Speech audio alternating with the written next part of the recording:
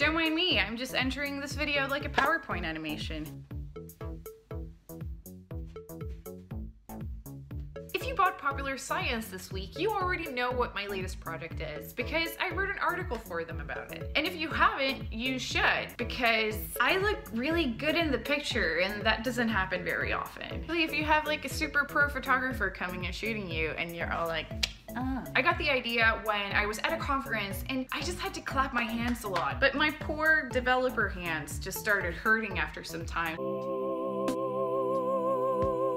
So I thought, there must be a better way. I realize this is kind of like the slogan of my channel because finding a better way is all I do. You're welcome, world.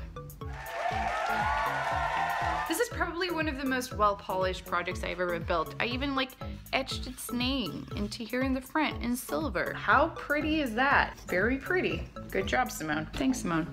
The trickiest part about building this was probably just figuring out this entire clapping mechanism. These are actually a pair of tongs from my kitchen. And I have this motor with an oval motor head thing. Motor mount? What is, yeah, it had, you can see it. And I put this metal spring between the, the grippers. So basically the motor just forces the hands open and then they just like, these are just some hollow plastic hands that I got. They actually look really creepy. They're like an old person's hands. I normally prefer young people hands. Uh, Ooh! So basically how this is set up is I have an Arduino Uno inside of here and it's connected to a MOSFET so we can control the speed of this motor and I have this slider so the speed can go from snarky slow clap to breakneck speed. Let's give it a go.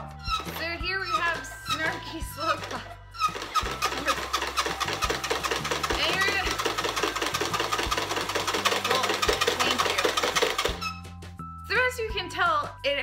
Some work to do on the audio quality.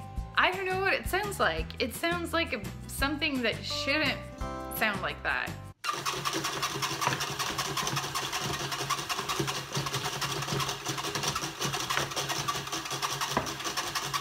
If you have an eye for detail, you can see that it's actually two right hands that are clapping because there were no left hands left.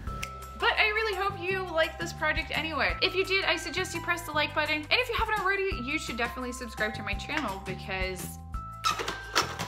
And, uh, old person's hands. Either way, talk to you later.